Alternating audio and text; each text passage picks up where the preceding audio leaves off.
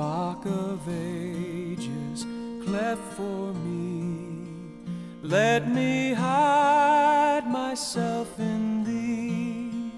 Let the water and the blood from thy wounded side which flow be of sin the double cure. Save from wrath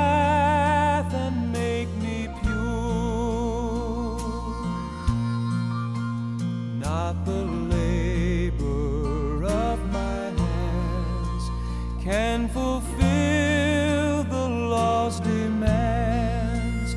Could my zeal no respite know? Could my tears forever flow? All for sin could not atone. Thou must save, and thou alone.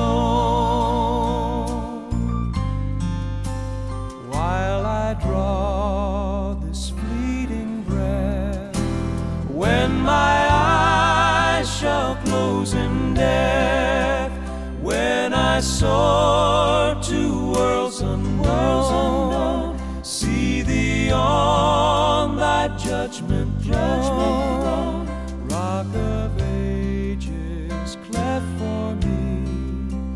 Let me hide myself